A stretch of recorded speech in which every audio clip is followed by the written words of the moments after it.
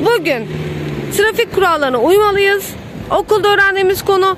Şimdi bunu pratiğe dökeceğiz. Ne yapıyoruz biliyor musun? Karşıdan karşıya geçeceğiz.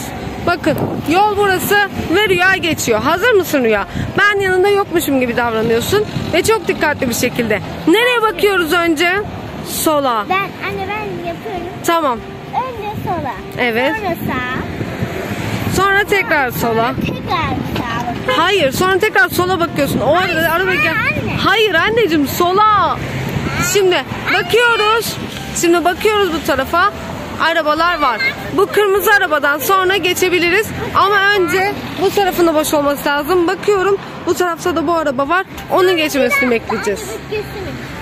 Tamam anneciğim. Bu tarafa. Sonra tekrar bu tarafa. Evet. Bakıyoruz. Tekrar ara. Evet. Dokuz. Evet şimdi yolumuz boş ve biz geçebiliriz. Evet şimdi ortaya kadar geçtik. Karşıdan karşıya geçerken koşmuyoruz. Bakıyoruz burada araba var. Bekliyoruz o yüzden bekliyoruz şimdi. Şimdi bakıyoruz. Burada bir tane araba kaldı. O da geçtikten sonra biz geç... Ay bir tane daha geliyor ya birazcık daha beklemek zorundayız. Evet bir tane daha geçiyor.